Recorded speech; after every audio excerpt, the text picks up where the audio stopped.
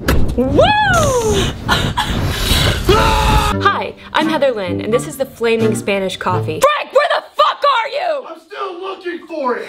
This recipe requires 151 rum and fire, which mixes well with everything, except decisions. That's why we have Frank standing by. Say hi, Frank.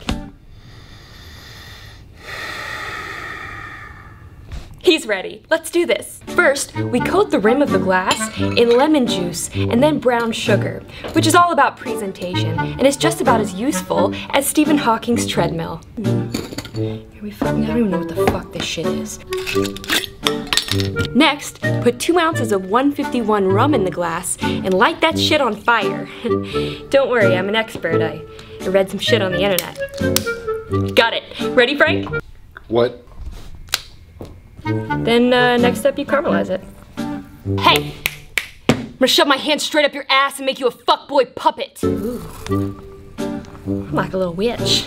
Like a little, like a little feisty witch. Uh, coffee and then uh, coffee liqueur. You add all your shit and you put this shit out. Add uh, one metric fuck ton of whipped cream. We don't half-ass anything. We're gonna use our whole ass. Our whole entire ass.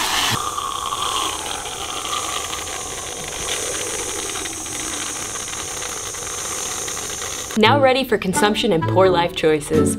You are welcome. We didn't even have to use a fire extinguisher, right Frank?